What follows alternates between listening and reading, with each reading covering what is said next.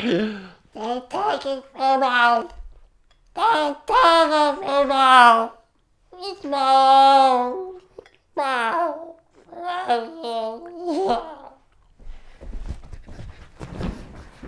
What's up, guys? We're Jungle Beats.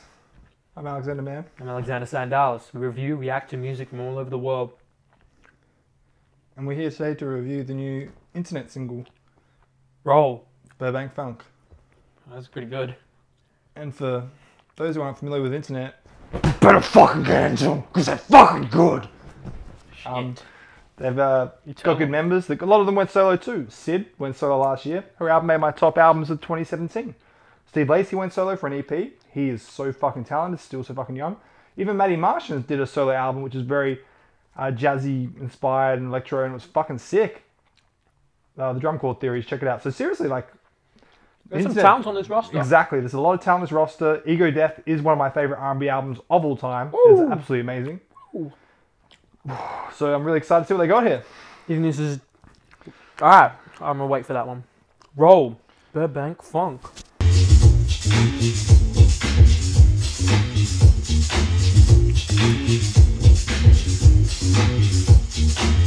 I love that bass guitar. That bass is good. That's Steve Hey, hey, hey. Hey.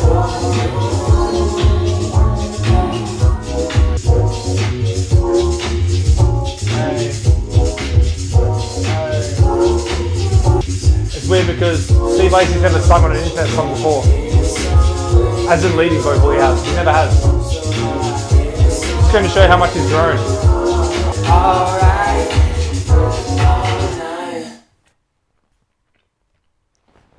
Just feels like a feel good track. A little repetitive. Just sounds like they're singing a hook the whole song. It sounds like an interlude, to be honest. That's what I was thinking. I think it sounds like the intro to the album or an interlude to another song. Why would you?